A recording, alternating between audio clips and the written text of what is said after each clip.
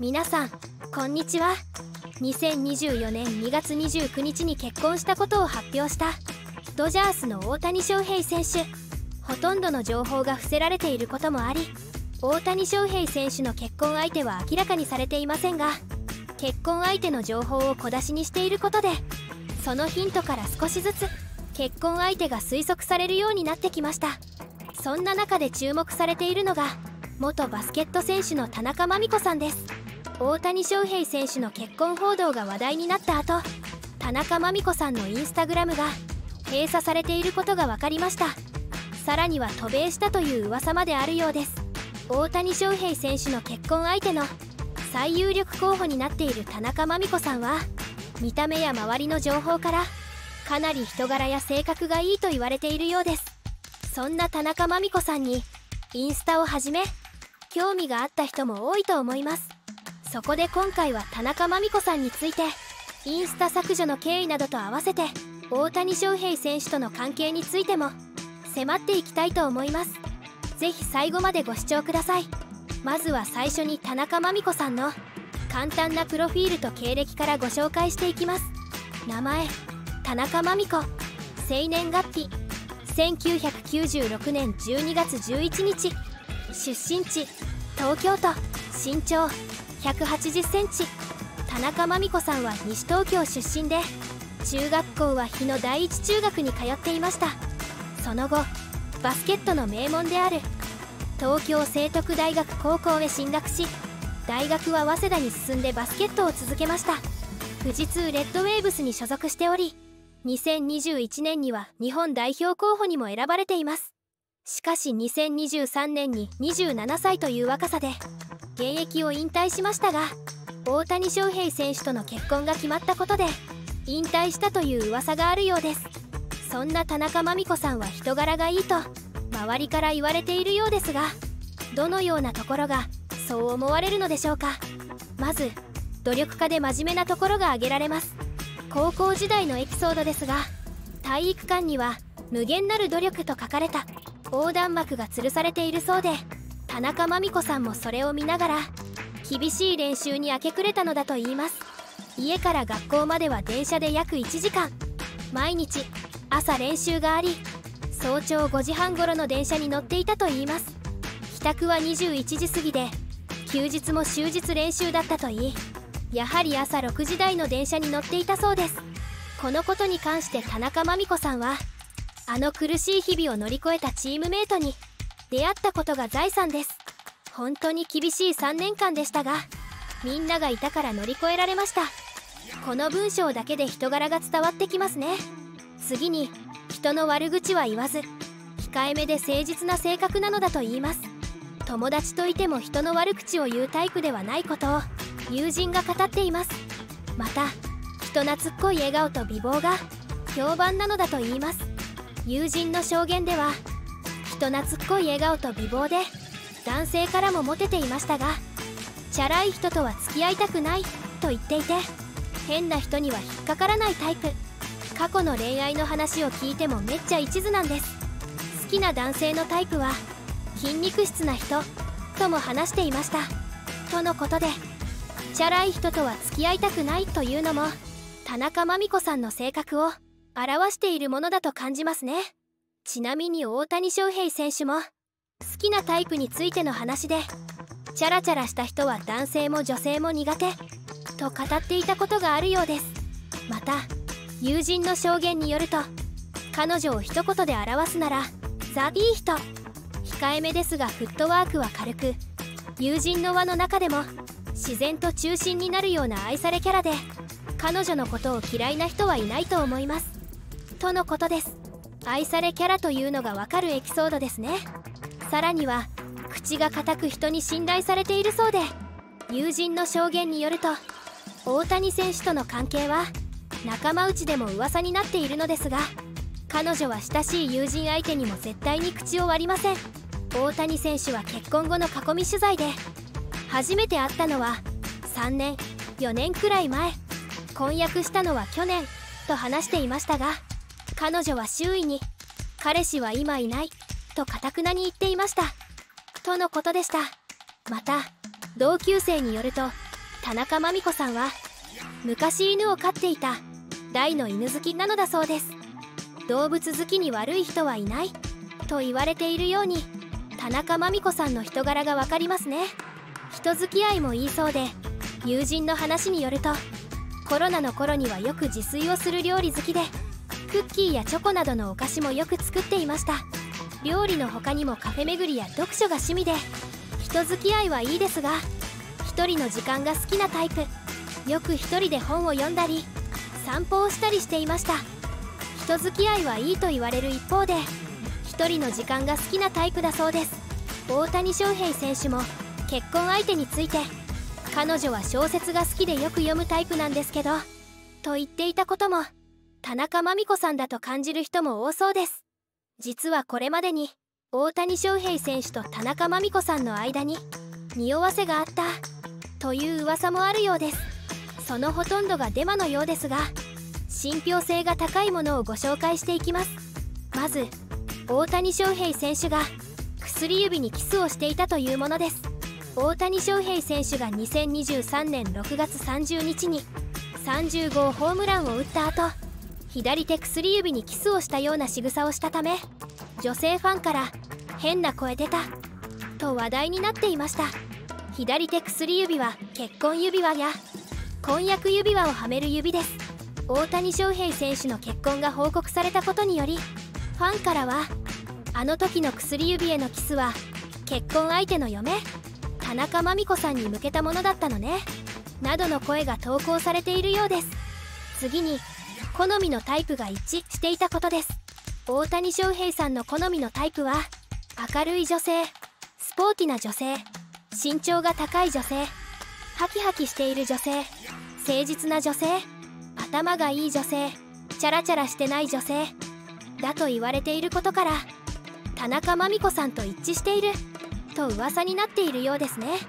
しかし大谷翔平選手がきなタイプを話していたのはずっと昔からなので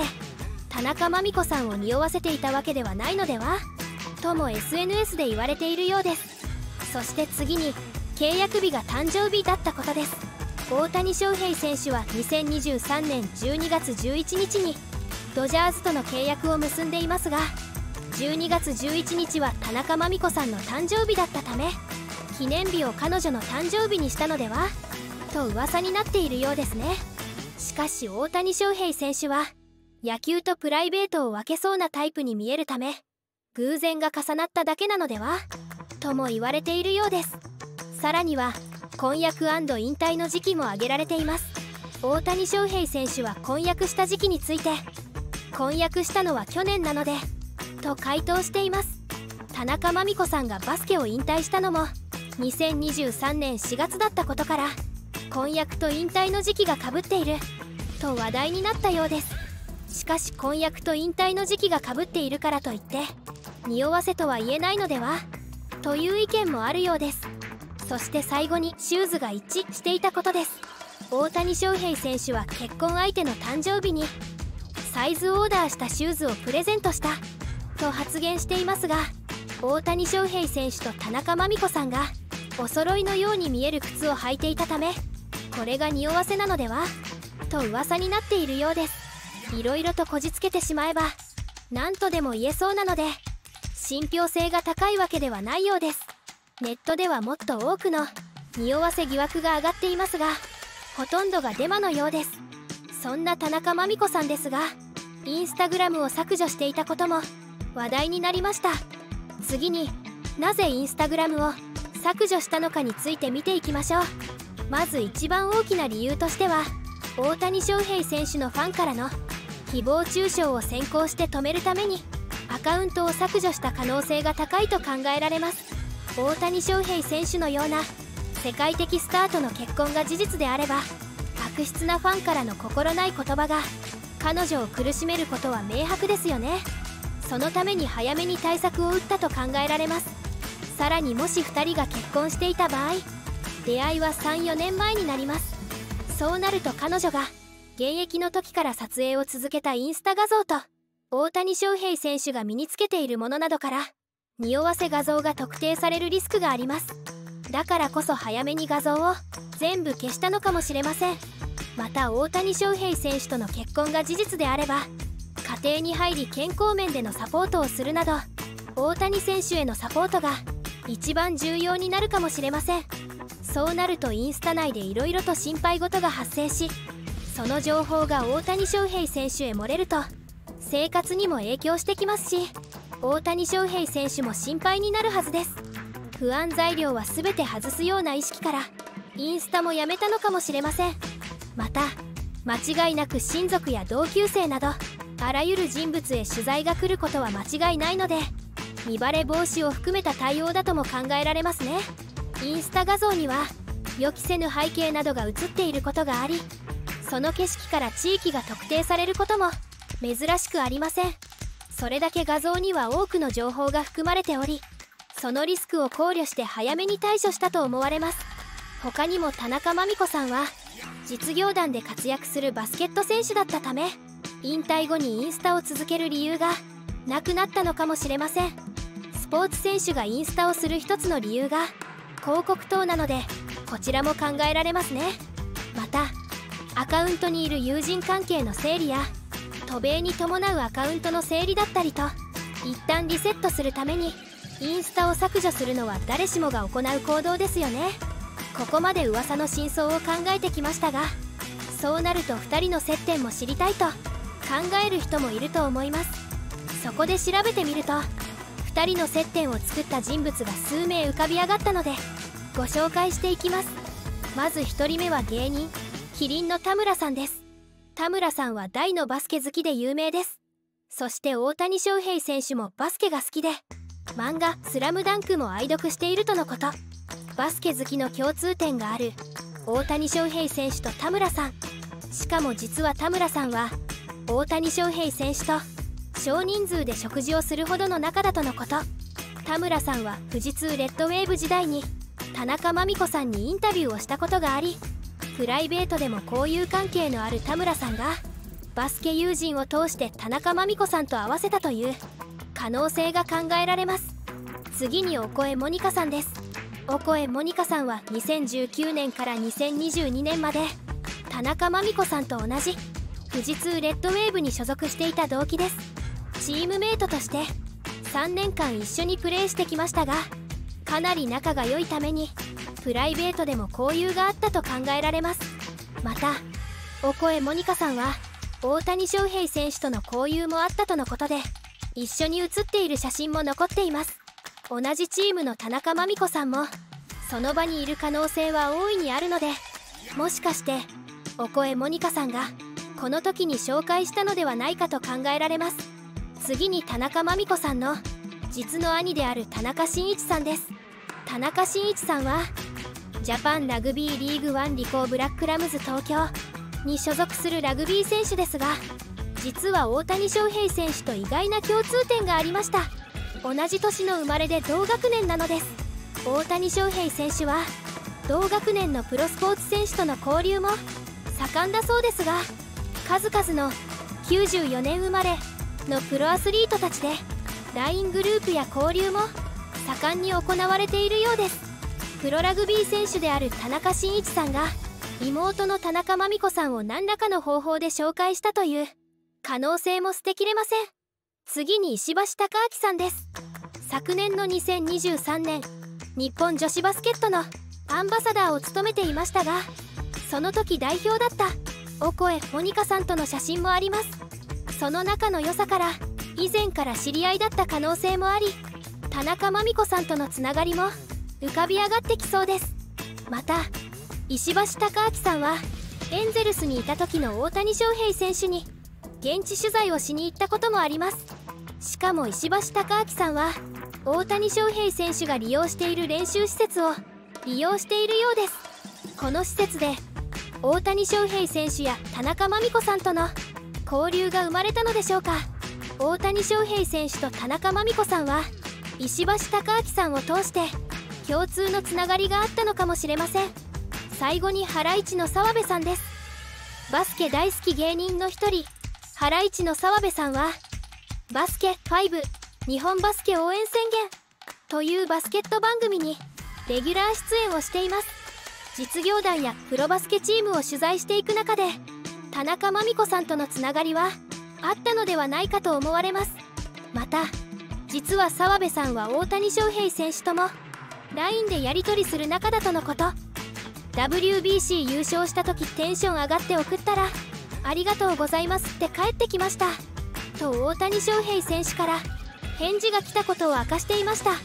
今回の結婚報道についても大谷翔平選手に LINE したか聞かれるとめでたいことだからね。したした。と気軽に LINE を送っている様子がうかがえます。もしかしたらバスケつながりの澤部さんが田中真美子さんを大谷翔平選手に紹介したという可能性も。ゼロではないように思います。まさに運命的な出会いだったのかもしれませんね。田中真美子さんが渡米したという噂も。結婚相手であることの信憑性を高めています。名前は公表されていないものの田中真美子さんの知人が取材に応じていたことがありその内容をまとめると友人の間ではコロナ禍になる前くらいから大谷さんと連絡を取り合っていると噂になっていた。インスタが2個あったがフォロワーの多い1個は削除。もう1個のプライベートアカウントへの投稿すら昨年8月からストップしている。約1年前には勤務している会社の寮を離れ実家暮らしになったようだ。2024年に入ってからは親同伴で1週間近く渡米したようだとのことで近しい友人知人の間でも噂になっていたようです。インスタの件もそうですが引退後に寮を離れて一度実家に戻り親同伴で渡米というのは結婚準備とも捉えられるタイミングです。この知人の話が本当だとすると田中真美子さんは2024年に入ってから両親と共に渡米したようです。一時的なものなのかどうなのかは現状分かっていませんが結婚相手が田中真美子さんである可能性は十分に考えられます。まだ多くは明かされていないもののこれからの続報に期待が高まりますね。最後までご視聴いただきありがとうございました。コメントを残してくれると嬉しいです。チャンネル登録高評価もぜひお願いいたします。それではまた。